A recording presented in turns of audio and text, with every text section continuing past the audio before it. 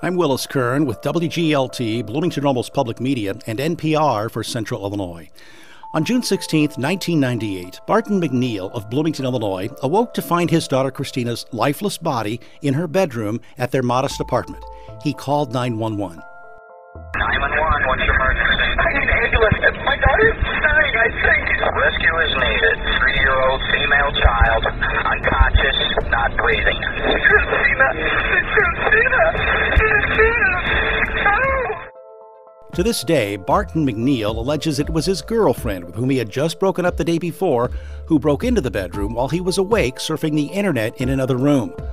Barton McNeil, despite the help of a public defender, was convicted in a bench trial of murdering his daughter and continues to serve time in prison nearly 20 years later. Illinois based investigative journalist Scott Reeder, who brought you season one of Suspect Convictions detailing the 1990 death of a Quad Cities girl, is back with season two, taking a close look at Christina McNeil's murder. Did his girlfriend break in that night?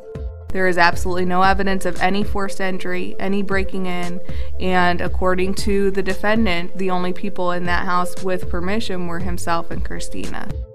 And police noticed spider webs along the windowsill and on the screen.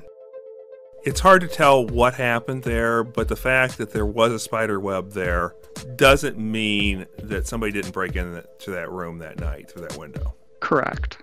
That's the best conclusion we can come to with the evidence at hand.